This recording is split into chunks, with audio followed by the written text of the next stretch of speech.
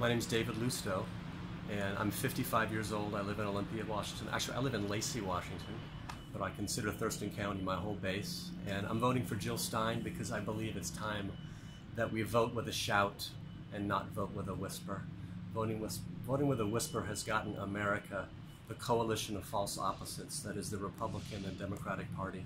We need something better, something that's really going to work, that we can invest in for a better future that's based on common use of this planet and justice.